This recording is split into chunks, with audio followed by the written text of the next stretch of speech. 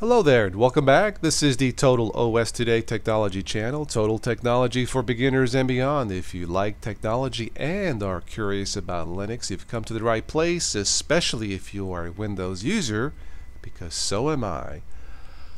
But for tonight, let's talk a little bit about the next Linux Mint 18, codename Sarah. A terrific, Linux Mint is wonderful and it's terrific for beginners. It has been and continues to be but the next one will be called Sarah. You can get more information here. Briefly, Linux Mint 18 to be released around May, June 2016. Linux Mint will be based on the next Ubuntu 16.04 LTS long-term support and supported until 2021. Very good. I'm sure there'll be tweaks here and there, maybe run a little bit smoother, different themes. What I'm interested in primarily especially for beginners, is will there be an easier upgrade path from the previous or now the current Linux Mint 17.3? In the past, if you had Linux Mint and wanted to upgrade to the next one, say you had Linux Mint 1 and you want to install Linux Mint 2, you couldn't just do a few clicks or a few terminal commands and then download and install the next one. Normally, it was recommended that you back up all your important documents and stuff from Linux Mint 1 and then download Linux Mint 2 and then do a full install thereby erasing Linux Mint 1. At least that's how it has been recommended.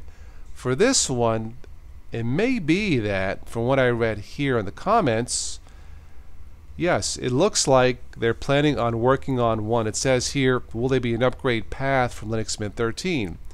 I can't guarantee, according to Clem, he is the originator of Linux Mint. He says he can't guarantee it, but they're working on one for 17.3 going over or upgrading to 18.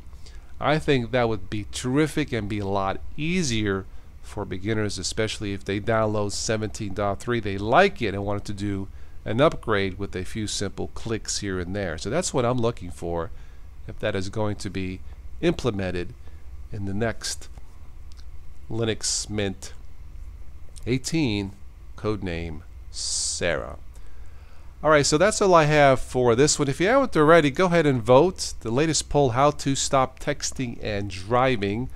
You have some options here, higher fines, mandatory jail time, one-year license suspension, impound the car, community service, all of the above. I'm never going to stop talking about this because I see idiots almost every day, and my son just got his permit. So I don't want him to get hit by a rear end hole. Anyway, let's, let's see what we have here for results so far.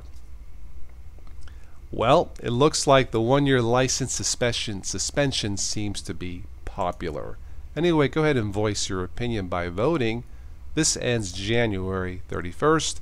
It's here on the TotalOSToday.shop blog. I hope to have my Harry's Blades come in this this week.